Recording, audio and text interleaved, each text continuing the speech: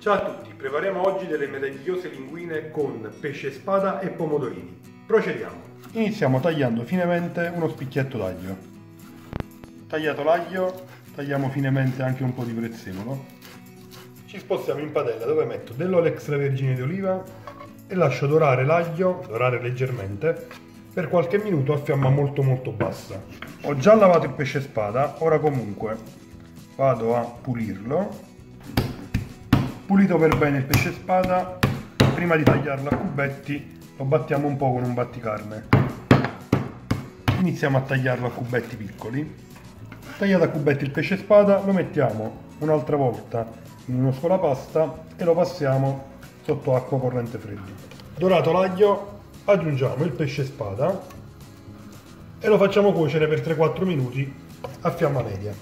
Nel frattempo ne approfitto per spezzettarmi a mano le olive nere. Passati 4-5 minuti alzo la fiamma e sfumo con una tazzina di vino bianco secco. Lascio a fiamma alta evaporare il vino velocemente. Evaporato il vino abbassiamo la fiamma e andiamo a rimuovere momentaneamente il pesce spada. Aggiungiamo solo dell'olio extravergine di oliva. Mettiamo uno spicchio d'aglio, i capperi, le olive e due alici sott'olio e lasciamo rosolare il tutto per un paio di minuti a fiamma bassa. Passato qualche minuto, se preferite potete spezzettare così con il cucchiaio di legno l'acciuga e i capperi. Andiamo a mettere i pomodorini in scatola oppure a questo punto i pomodorini freschi.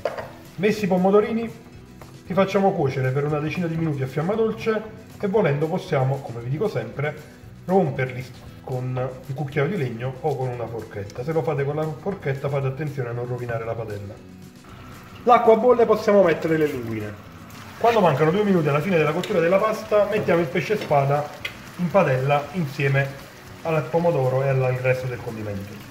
Quando la pasta sarà bene al dente abbassiamo la fiamma sotto la padella e mettiamo la pasta lasciandola così, mescolando per bene, insaporire.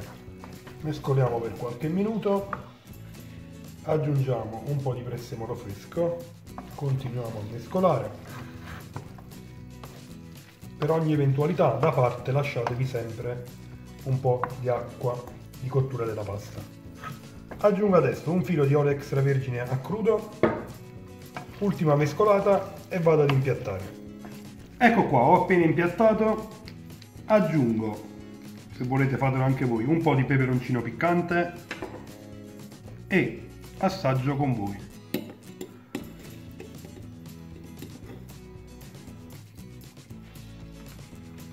Questo piatto è davvero davvero delizioso, provare per credere, 20 minuti per farlo, quindi niente scuse perché è semplicissimo. Mi raccomando, se il video vi è piaciuto mettete un bel like, condividetelo e iscrivetevi al canale. Ciao a tutti e buon appetito!